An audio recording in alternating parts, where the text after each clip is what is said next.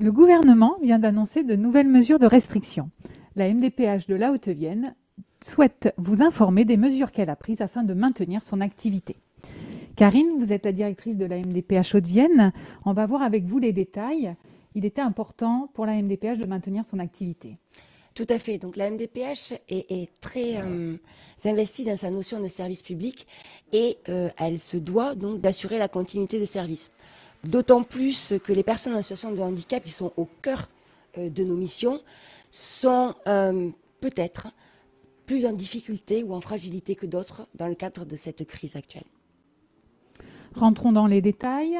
accueil physique, accueil téléphonique nous assurons et l'accueil physique et l'accueil téléphonique, et ce, du lundi après-midi jusqu'au vendredi.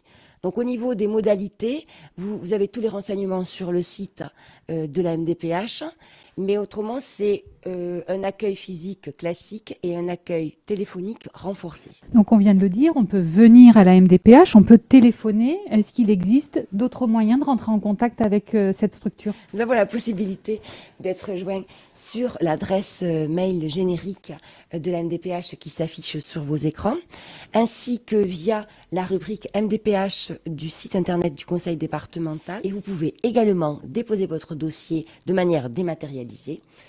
Euh, Directement en ligne en fait. C'est ça, c'est assez facile. Et pour les dossiers, qu'en sera-t-il? Alors nous avons euh, l'ensemble du personnel qui continue à travailler.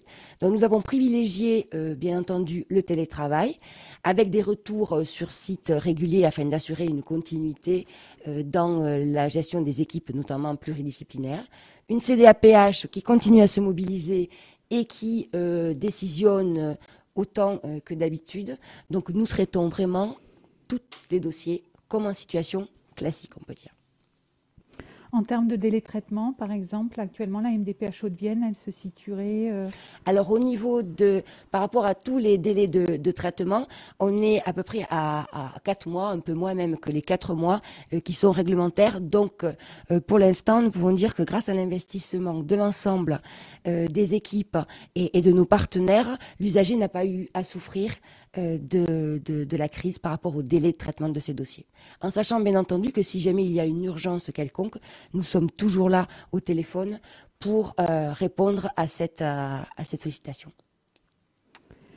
Il faut que les personnes euh, sachent, le gouvernement a également pris des mesures très importantes concernant la continuité des droits. Oui, tous les droits en fait seront prolongés et ce jusqu'au 1er juin 2021. Ça correspond à la date de fin donc, de, de l'état d'urgence.